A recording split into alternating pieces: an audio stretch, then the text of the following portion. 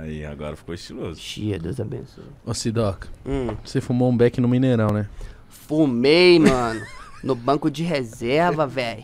Ainda Sério? deixei uma ponta lá pro treinador ver lá e falar, credo! Quem, quem é o jogador maconheiro aqui? E alguém deve ter tomado um esporro. Ô, imagina, viado, o treinador vendo um back no bagulho. Era nós. Aí o segurança, vai embora, vai embora. Eu falei, eu não, eu tô com o Jonga, dá licença, só. Aí o Jonga já, é, ué, é nós mesmo. Joga manda em Minas Gerais, né, mano? Tem condição não, velho. Chefão pra mim, sem condição. Tanto Carai. que eu tenho por ele. Quando eu vi você fazendo esse story, mano, e eu vi também você fumando. Foi no aeroporto? Ele filmou Você tava fumando dentro do copo?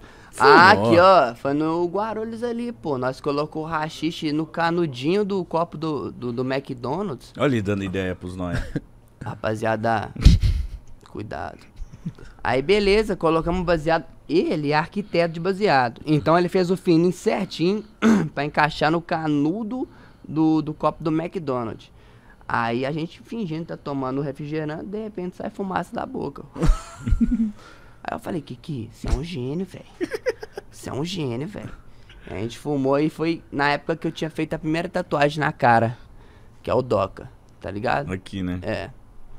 E aí, quando eu fiz essa primeira tatuagem, eu falei, caralho, mano. Borrei minha cara daqui a nada. Você não gostou? Não, eu gostei, mas é um sustão. Fácil pra você ver. É foda, tatuar a cara é tipo, mano, eu quero que se foda geral e é isso aí. É, mano, é tipo pau no cu de todo mundo, velho. Daqui é naipe. Você olha no espelho e você fala assim, nó, tô diferente.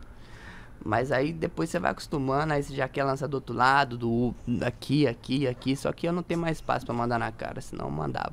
Tem no meio da testa. Ah, mas não vai ficar legal. É tudo simétrico. Bota fé? Não sei se você percebeu.